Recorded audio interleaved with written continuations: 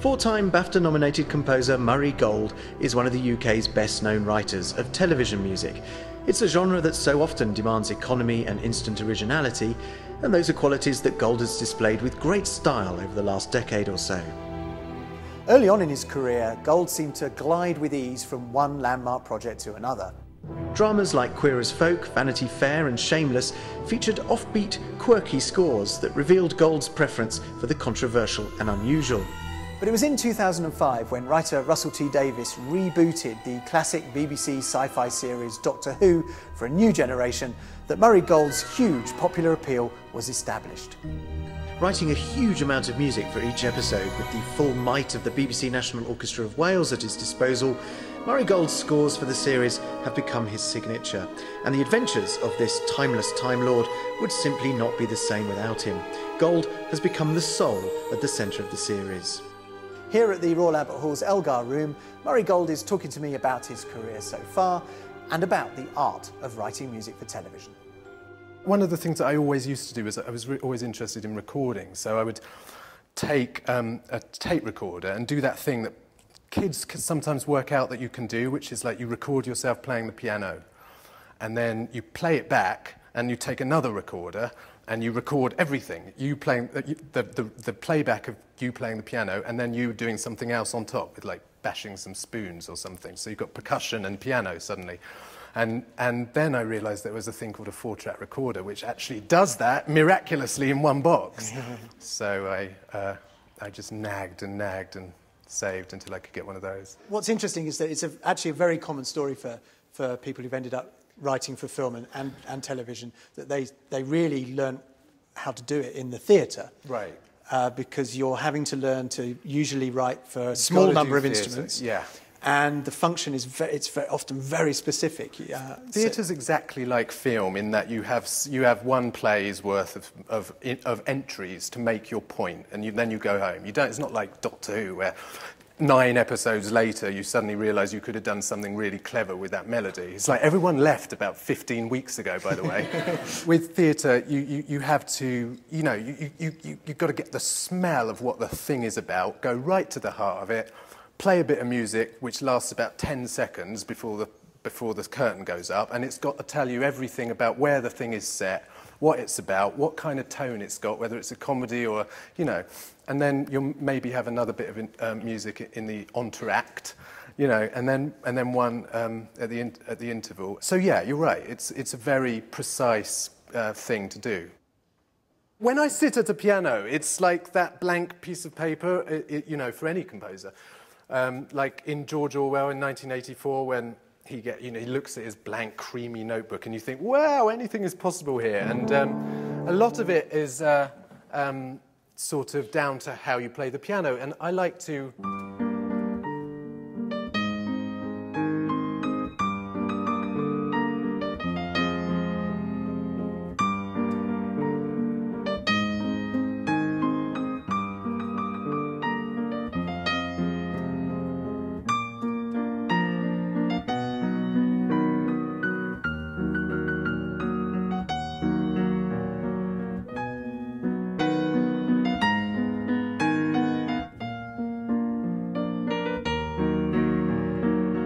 Theatre stuff got, you know, a documentary director comes in and then it, it, turned out to be a guy called Marc Munden. In fact, I tried to play him some stuff. I'd gone round to his house with a tape and he'd really liked it. And he said, it's kind of got a style and it's really transparent. He said, I can't use you for this, but maybe I'll use you for the next thing. What happened, which you can never guarantee with anything, you just, this one of those things where, you know, the next thing I knew he said, Oh, and the BBC have just given me this Sunday night drama called, you know, we're doing a, a, a costume drama of Vanity Fair. And I was like, Great, I'm so happy for you, enjoy it. Um, and then he said, No, no, but I'd love you to do it.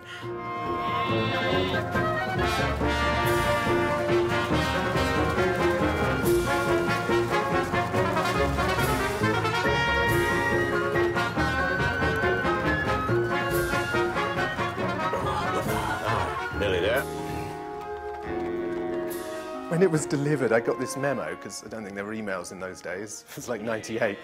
Um, I got this memo, and it just said, Is this a joke?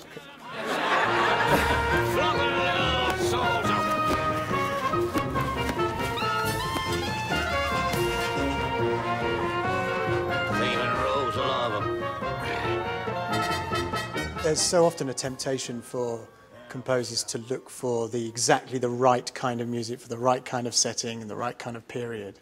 And you've sort of done the opposite, but it works perfectly because it gives it such energy. It goes right to the heart of the of what the show is about. It's called Vanity Fair. It's about the, the you know the decline of middle classes and the elevation and then decline of, of a woman um, who uses every every you know all of her womanly tenacity um, to rise to the top of society and collapse. So it, theatrically, it's it's about decay and deprivation and you know the bourgeoisie and sort of you know absence of values. So, so it, it just felt like it, it, should be somewhat like, you know, Kurt Weill, kind of Weimar Republic, kind of all these kind of, whatever. I mean, I, tr- I try not to even ask questions about that because you get so literal about things. You know, it sounds a cliche, but if, it, if, it, if you feel like it works, just do it. Paul Abbott had been watching it, and Russell was looking for a composer for Queer as Folk, and it was they were, it was the exact same time, I think, probably December 98 or something like that. And um, Paul Abbott and Nicola Schindler, and I, you know, worked a lot with both of them, and they're both geniuses of, of their field. They said, Who, who's around who doesn't write, this is one of those things, who doesn't write TV music? We, don't, we just don't want TV music. And it's like, I didn't have a clue what TV music even was anyway. I don't even know what they mean by that. I still don't really. But um, I think what, you know, they, they, what they mean is they don't want stuff that just fills in, in the holes. They want tunes and melodies and things like that. Um, and Paul Abbott said, Oh, did you see Vanity Fair? And they said, No. And he said, Well, it's really, you know, what about that? So I'm in this hotel room, with, which I was sharing with my brother, and suddenly this phone rings. He goes, Oh, Murray. Um, the, uh, that score for Vanity Fair was outrageous. And I said, Who is this? He said, It's Russell Davies. I've done this thing. It's called Queer as Folk. I'm more proud of it than anything I've ever done in my life. All of the shows that I did, you know, not Vanity Fair, but subsequently from this, were northern working class drama. And it was, you know, it always fitted in with the philosophy of life that I had that, you know, life is just not a whole bed of roses, but when it's romantic and you're you know, deprived, you know, in, economically or emotionally or in, in any form that, that, that, that these stories like Clocking Off and Shameless and Queer as Folk are set in, you know, a little bit of love goes a long way and it means a lot. And so I would write these quite ro- romantic and offbeat scores to, to stuff, and I would make it triumphant and romantic and happy where you wouldn't expect it to be it just felt like, oh, what this is actually about is the birth of sexuality. So it needed to have sort of like that Eddie Cochran rock and roll thing. So that's where all the strumming came from.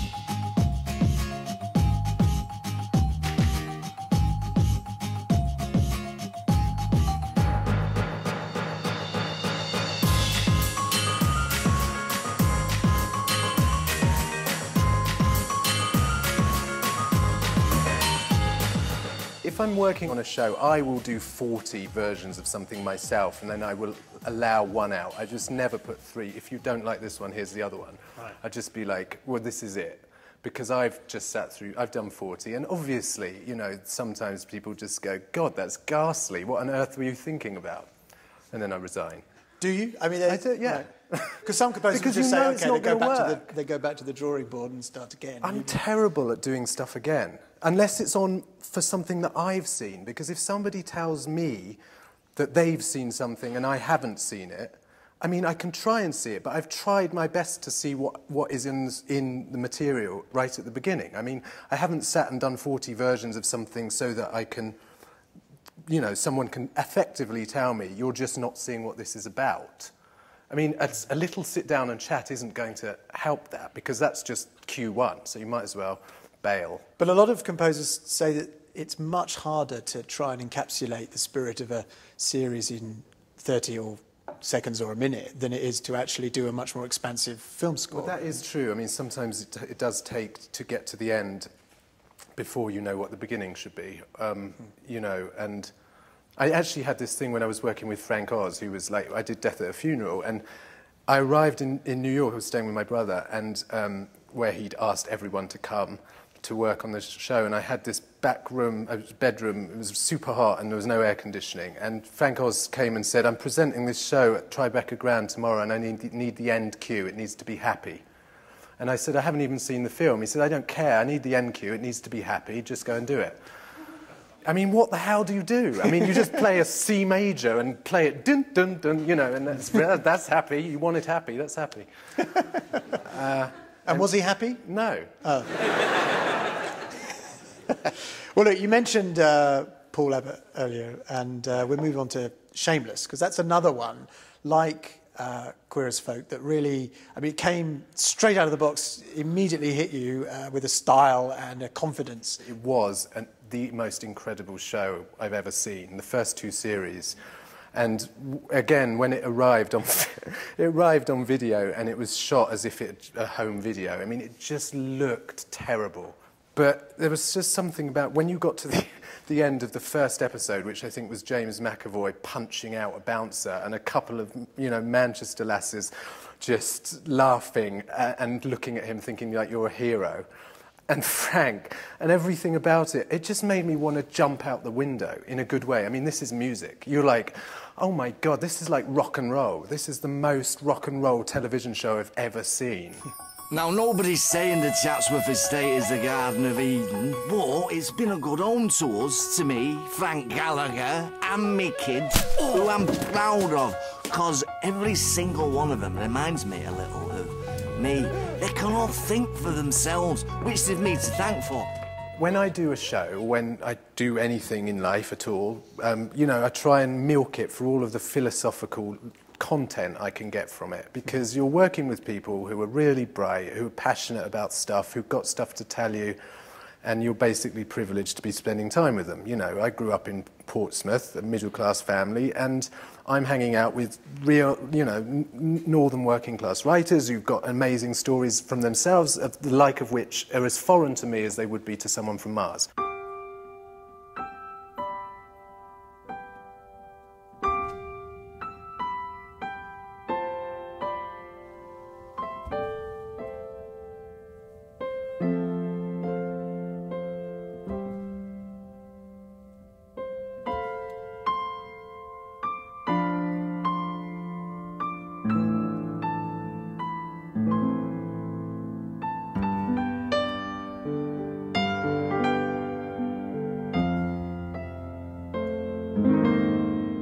Was up in West Yorkshire Playhouse, and because I'd written this play and it was being performed, and Christopher Eccleston, Eccleston was starring in it, and um, and he kept on vanishing um, and not learning his lines because he was doing screen tests for this stupid thing, and um, obviously which nobody would watch. And why isn't he doing my play properly?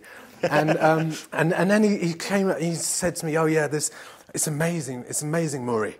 It's proper stuff. Like, what? It, it, and he said, like, it's amazing stuff like one of the companions goes and sees their father die, and it's proper drama. And I was like, yeah, yeah, okay, we could just do my play, please. Um, and, and all of the Doctor Who lot came up to see the play because they supporting Chris, and then there was the announcement, and then Chris sort of went into a sort of, he had played cat and mouse with the press. So I was right there when all of that was happening, but it was nothing at all to do with me because that was some, you know, it was about April or May 2004. I just didn't think about doing Doctor Who at all, really. Um, and I got, then I got an email, and, and I, I think I subconsciously pretended that I didn't want to do it and told myself that as a kind of suck, sucker for, for it, you know, not happening. And, and then I got this email very close to the time when it had to be finished. Like it was October, and the dub was in November. And it just said, I'm doing this thing, I don't know how it'll work out, but um, I should have asked you this months ago. Um, do you want to do the music for Doctor Who? And I was like, I just wrote back, yes, that would be great, thanks. And that. so then I had to go down to set and see things happening and, and and I, I, I made this, you know, I made this tape and I studied everything and I made this incredibly electronic thing. And then I went and played it to Russell and Julie. And I think right at the end, after about seven and a half minutes of electronic stuff, there was this string chord, and they go, "Oh, we like that." and I was like, "Okay, I think what you're telling me is you want strings." And they said, "Yes." And I said, Well, we don't have any budget for any strings or anything like that, and you need the music. And uh, that, then they said, Well, just what's that? That sounds good. That's nice. I was like, Yeah, okay, well, I'll do that then. And, and then I had to go and change my computer because I used, I don't know, I was using a computer program called Cubase. And I had to go and buy these fake strings, and I had to plug them in using a software program I didn't know how to use. And then I, and two weeks later, I had to deliver the score. And you know, um, and none of it's got any reverb on it or anything like that, because um, I didn't realize that you should put reverb on string samples, otherwise, because they don't sound very realistic. Um, and, um, and that was broadcast.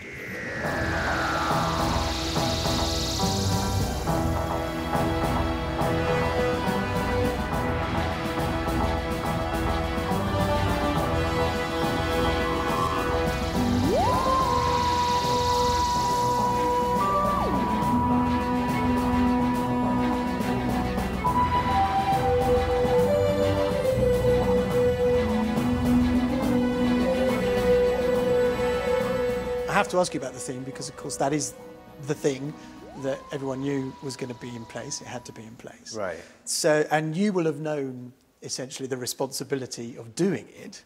So I didn't. You must have done. You must have known the theme anyway. I knew the theme. I mean, I, I was I was watched Doctor Who a lot. I mean, did they say we need a new arrangement? That... No. what what happened was it came a bit later. I think I'd done maybe one or two episodes, and. Um, because we had this big amount of time, December to April, before it was broadcast properly.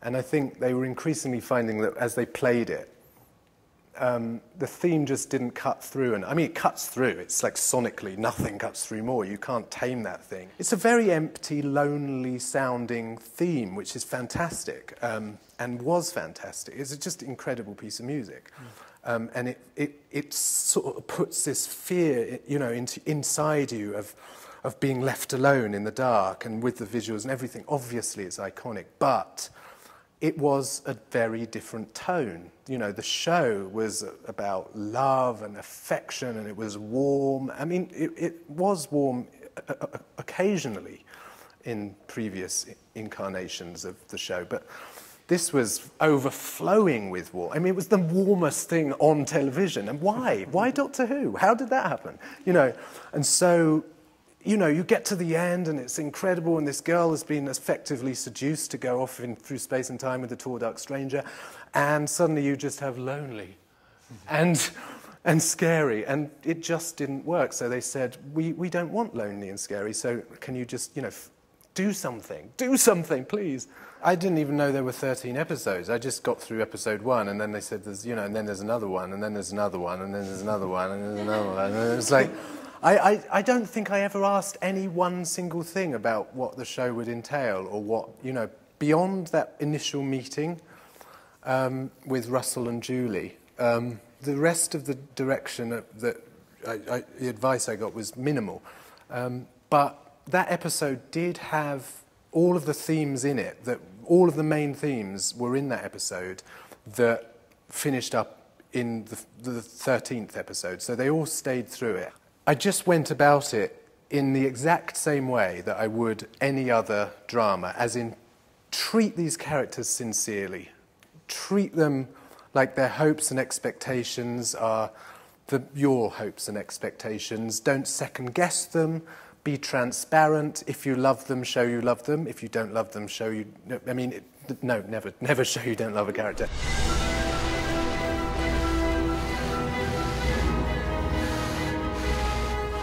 It's going to eat us. It's going to eat us. It's going to eat us. It's going to eat us. It's going to eat us. Well, maybe we're going to eat it, but I don't like the odds. Stop. Let's see. Tiny shot. I mean, if I had my screwdriver, I could probably send a pulse and stun it. Well, where's your screwdriver? Well, concentrating on the pluses. Within reach.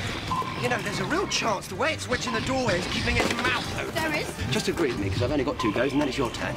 two goes. Two arms. Right then. Okay. Geronimo. Open wide. It's fantastic to have the orchestra. I mean, the, the number of notes that I write and that Ben orchestrates. Well, we, I was going to mention Ben Foster because he, he's your sort of right hand man on this project, isn't he? He is, yeah.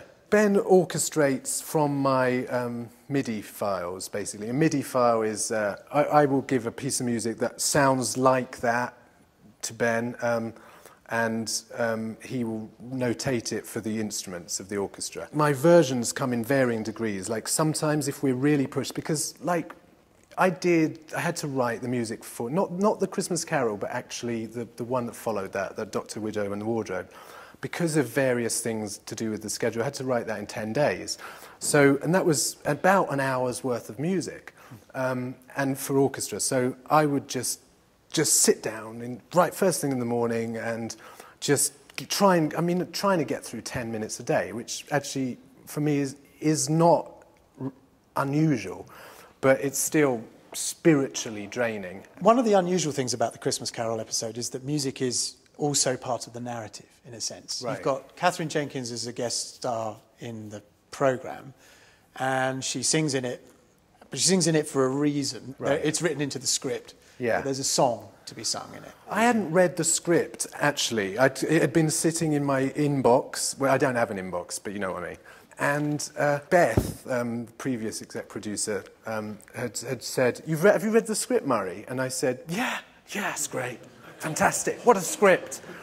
Um, and she said, So have you done the song? And I said, um, There's a song? And she said, Yes, you, you know that bit towards the end where somebody sings and saves the entire universe, and because they've been let out of their prison for one day, which the person who's been in love with them for all their life and it turned him into a really miserable bastard.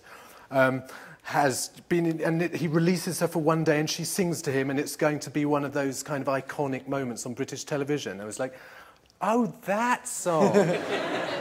No pressure whatsoever. And, she, and then she said, Well, Katherine Jenkins is flying in from Russia on Friday. And I was like, Which Friday? You know? she said, it, to, As in, now is Wednesday, tomorrow is Thursday, and the next day is Friday. And I was like, Fantastic. When you are here, music is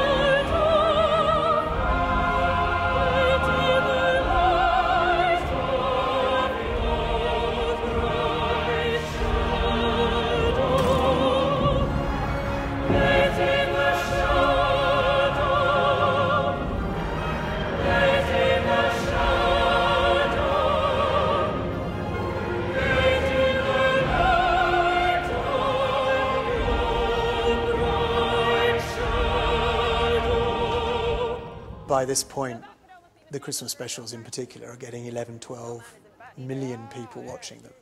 On Christmas Day, a family experience, one of the few, I guess, on television that we get these days. Do you ever even remotely think about that while you're doing it? Do you feel that pressure? No, not at all. No, I mean, I just, uh, I mean, I mean, I think I probably feel. I'm like the old guard on Doctor Who now. You know, I'm the one that's been there all the time, and um, I feel like if I respond to something a certain way, I think every, to some extent, people use me as an emotional gauge for, you know, what it's about. I, mean, it has even been known that somebody has asked, "Do I like it?" as if it mattered. from within, the, you know, from, you know, what does Murray think about it? Because normally that question is only put to, well, what did, you know, the people with the power think about it? You um, have the power. I don't have the power. I just, like, occasionally someone listens to me. when you associate a theme with a character you love, of course it's going to get the emotional drive that the, the you know, the Who theme is always going to be Doctor Who, that's what it is. But, you know, when I Am the Doctor represents Matt Smith, and he will, it will always represent Matt Smith for people now, that's just done.